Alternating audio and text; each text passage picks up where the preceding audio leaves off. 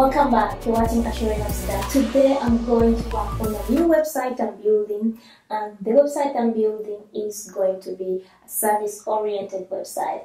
I offer services and also products.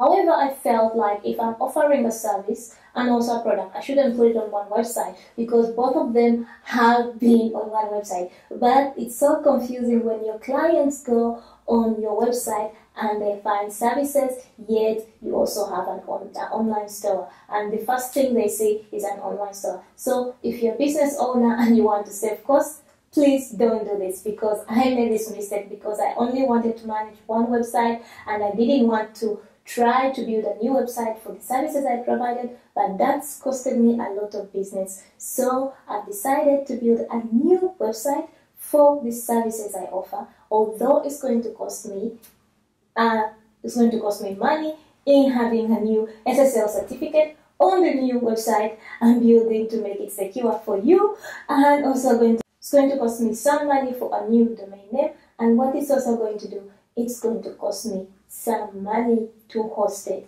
So if you're a business owner and you offer a variety of services and a variety of products, please try to separate them because this will help your business and help people find you easily without confusing them with so many things you're offering. Yeah, some of us want to offer everything and we can offer a few things. So you want to offer a variety of things which you know you can offer and which you can offer. So you try to reach your target group or your audiences in different ways and this needs to be this needs to be achieved by having different channels and having different channels that means you have to have different websites for all your different services and products you provide so if they're in one category, then they should have one website for that one category. But if you're offering services, a variety of services, you know, you should categorize them in categories and build a website for each. And the products also you're selling, you should also categorize them and build a website for each.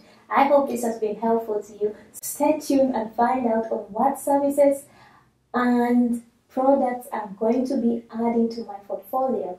And stay tuned, like this video, comment, and share it with all your friends and family. And see you soon.